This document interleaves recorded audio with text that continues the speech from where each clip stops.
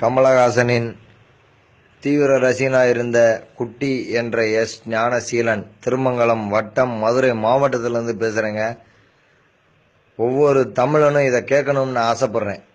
தமிழ்நாட்டை சீர்கேடாக்கிக்கிட்டு இருக்க ஒவ்வொரு மீடியாவும் இதை கேளுங்க.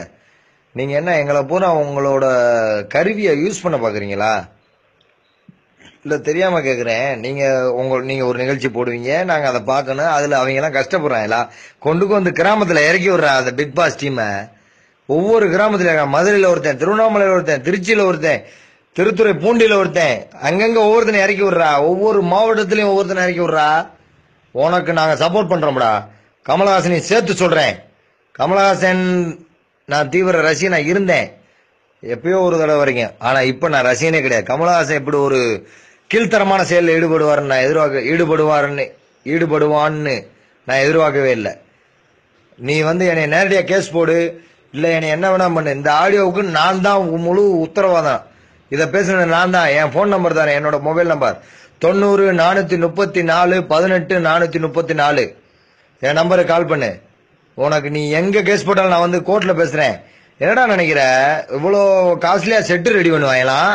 அந்த செட்டுக்குள்ள எல்லா ஏற்பாடும் பண்ணி வச்சுப்பான் ஏசி வச்சுப்பான் எல்லாம் ஒவ்வொருத்தனும் ஒவ்வொரு குற்றம் பண்ணிட்டு ஜெயிலில் போய் முந்நூறு நாள் முப்பது நாள் ஒரு அஞ்சு வருஷம் பத்து வருஷம் ஜெயிலில் இருக்கான்டா அவனை கொண்டு வந்து இங்க விடு. மெச்சு போய் இருந்துக்கிறியான் ஆனால் இந்த நாயில வச்சுக்கிட்டு இவன் எல்லா செட்டு ரெடி பண்ணுவானா பணம் எல்லாம் போட்டு பயங்கரமாக ரெடி பண்ணுவான். அந்த செட்டுக்குள்ள தவளை வந்துருமா. இதை பார்த்தோன்னே அந்த அந்த ஓவியான்ற ஒரு பொம்பளை அவளாம் பொம்பளைன்றதே நான் ஏத்துக்கிற மாட்டேன்.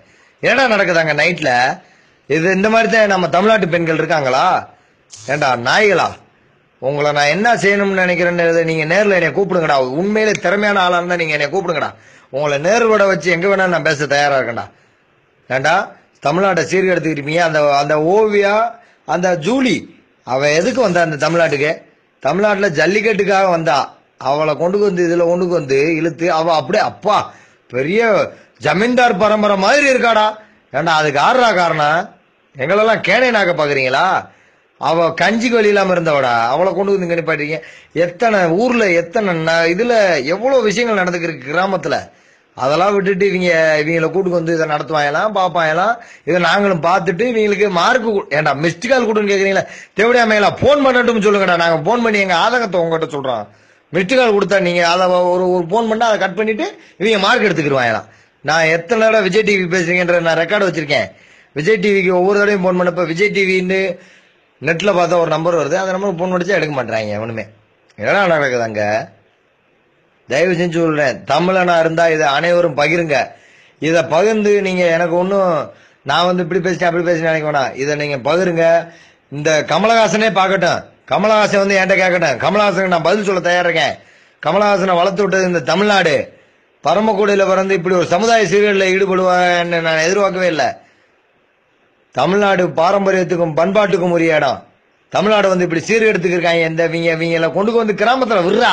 டேய் கமல்ஹாசன். கிராமத்துல வந்து விடுங்கடா எல்லாரையும். அவங்க என்ன பிழைக்கிறாங்கன்னு நாங்க பாக்குறோம்.